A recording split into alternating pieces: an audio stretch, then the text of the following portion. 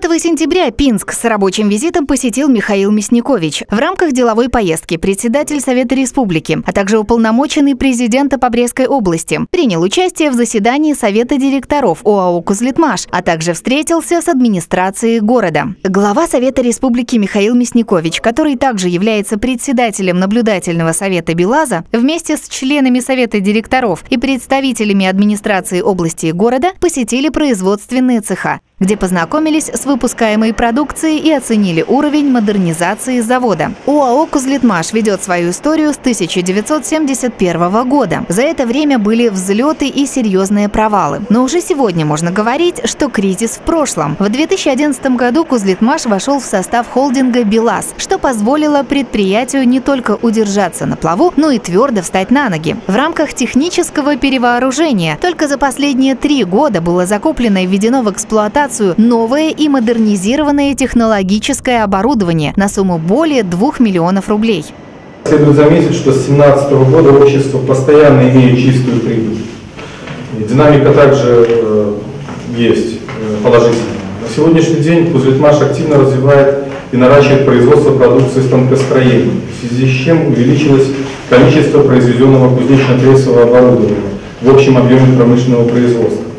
Как отметил директор ОАО «Кузлитмаш» Сергей Никифорович, по итогам работы за январь-июнь 2019 года заводом были выполнены все ключевые показатели эффективности и развития. Постоянно ведется работа по обеспечению роста заработной платы. Совершенствуется кадровая политика. Заслушав доклады руководителей предприятия, Михаил Мясникович в свою очередь обратил внимание на то, что путь Кузлитмаша всегда был тяжелым. И сегодня на фоне присутствия положительной динамики по ключевым показателям есть и острая необходимость в диверсификации производства, что важно учесть при реализации стратегии развития предприятия.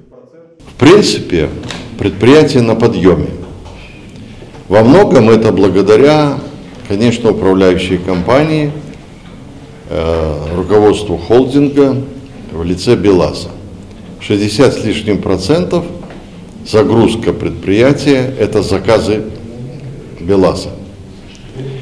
В этом плане надо работать не только по внутри холдинговой кооперации, но больше работать на экспорт, больше работать с Российской Федерацией, где действительно идет подъем промышленности.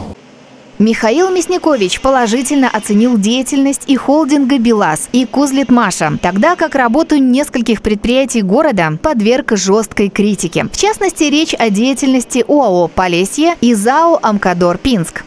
Есть проблемные предприятия. И в первую очередь я хотел бы обратить внимание, что в Пинске, и мы вот об этом говорим, два таких предприятия. Это Полесье, трикотажное объединение, и Амкадор Пинск, где объемы э, упали до 60% к уровню прошлого года, и предприятия имеют убытки, и пока нет реального видения как обеспечить развитие и осваивать ту инновационную продукцию, о производстве которой докладывалось главе государства.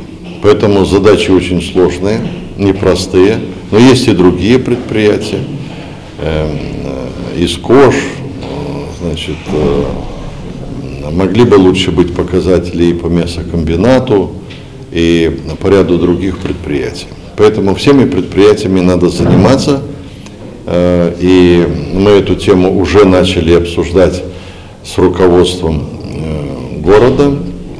И я думаю, что эта тема будет предметом обсуждения и в облсполкоме, ну и, безусловно, э, в отраслевых министерствах и концернах. Михаил Мясникович поручил администрации города предметно рассмотреть существующие на предприятиях города проблемы, продумать серьезные структурные реформы и доложить о принятых мерах правительству.